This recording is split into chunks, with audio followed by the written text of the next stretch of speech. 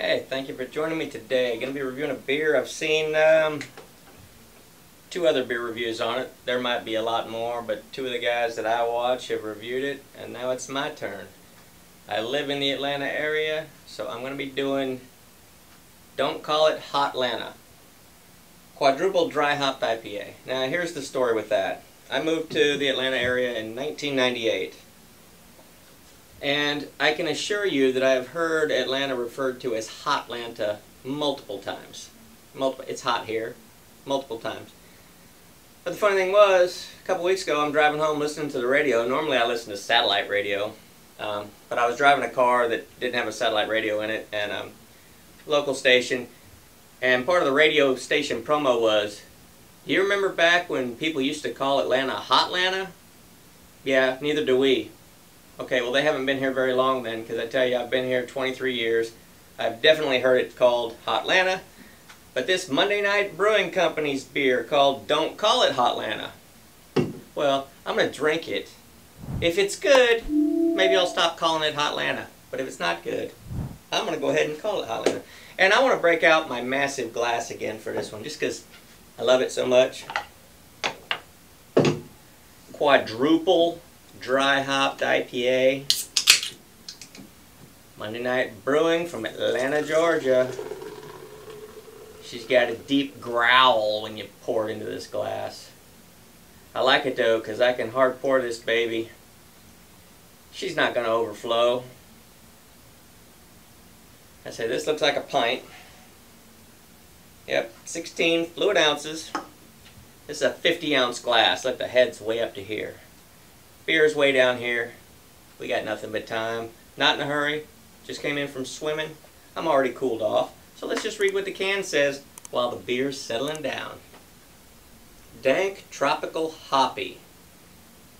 Drink cold. No. Keep cold. Drink fresh. This is 8.5% alcohol by volume. Quadruple dry hopped, but it doesn't say on here what kind of hops they used. I don't like to do too much investigating on the beers that I review. I just like to drink them without having all those thoughts put into my mind. I should be tasting this, that, and the other thing. No, I don't want to know that. I want to drink it and then see if I taste this, that, and the other thing. If I do, they got it right. But if they say it should taste like this, that, and the other, and it doesn't, then they didn't get it right. It could still be a good beer, but they didn't get it right. So I don't like to prejudice my mind by reading too much of the info on the can. So luckily, this didn't have too much info. And this is looking marvelous. And I tell you, this is a heavy glass. This is a good workout. I got I got to start using my other hand. Otherwise, I'm going to have a freaking big monster arm, and this one's going to be all skinny. Let's see what she smells like. She's definitely hazy. I don't smell dank. I smell oranges. That's the only scent I'm getting off of this is oranges.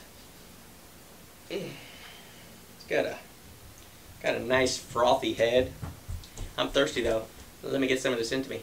Cheers.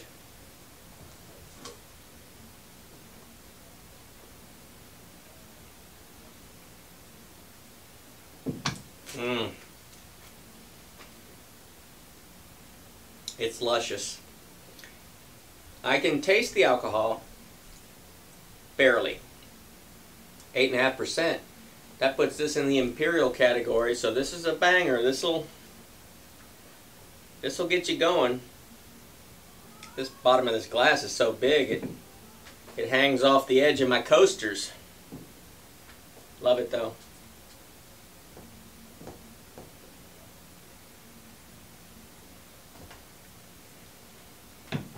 Mmm. It's good citrusy smell. I said orange. That's the only citrus I got on the head was orange. The after I swallow it on the back end, get a little bit of that um, grapefruit pith. Pith is the white stuff between the the peel and the fruit itself. Um, on oranges, pith I actually think tastes very nice. It's very nice to eat. Um, on grapefruits, the pith is is bitter. So this does have that bitterish flavor. Not too bad though. It's it's a nice pleasant balance because the beer is not too sweet. It smells like orange. little citrus flavor, not too sweet.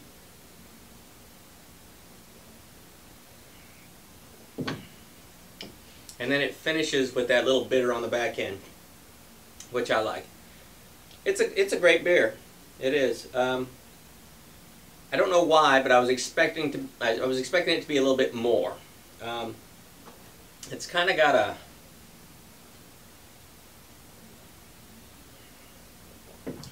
it's kind of thin feeling in the mouth, but that's okay. It's a good beer. I don't remember. I bought a four pack of this.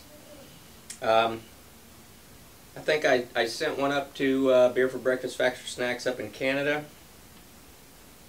Um, there was one more missing. I thought I gave one to Blue Ice, but um, he said he bought his at a, at a store over there. So I don't know who I gave the other one to, but one's missing. Maybe I drank it. I don't know. I don't know. But I'm gonna close it out.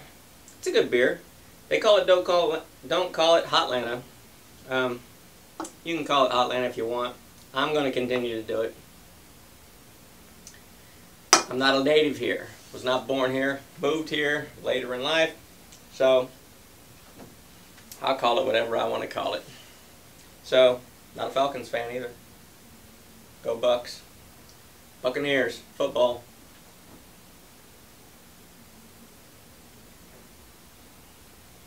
All right. Well, she's big. She's powerful at 8.5% alcohol. Great beer.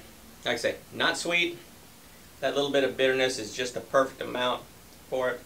I'm giving it a thumbs up. Monday Night Brewing out of Atlanta, Georgia. Don't call it Hot Atlanta. Quadruple dry hopped IPA. Coming in at 8.5% ABV. So if you can find it, it's worth buying. And 8.5% alcohol. This is like two beers of, you know, whatever you normally drink. Budweiser, Miller.